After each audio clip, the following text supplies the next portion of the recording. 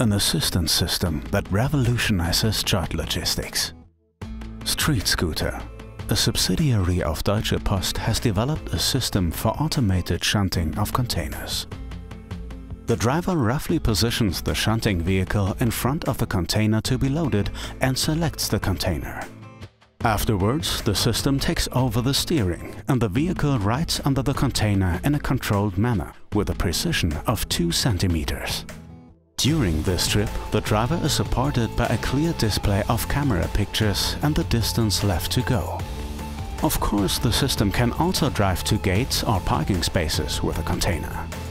In this case, the system takes care of the exact positioning. StreetScooter is creating technologies for autonomous logistic functions as well as autonomous last mile delivery. Here we are looking for a complete level 4 solution for yard logistics. Parts of these solutions are available right now, like the swap body pickup, which improves efficiency right away. Today's steady growth in the volume of parcels to be delivered calls for intelligent solutions in logistics. Less damage, less noise emission and shorter turnaround times even with inexperienced drivers. No adjustments of the yard infrastructure are required.